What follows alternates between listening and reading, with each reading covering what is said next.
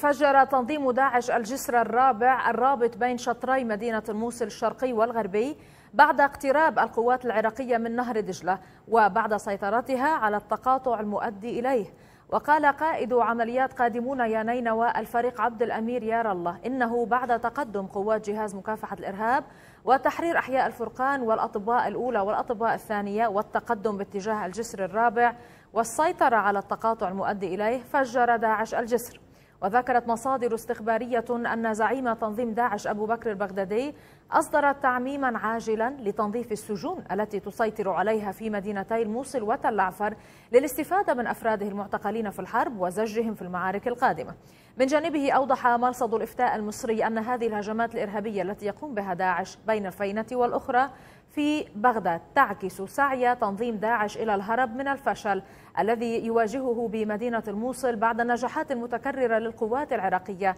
في السيطرة على المزيد من القرى بالموصل وملاحقة التنظيم.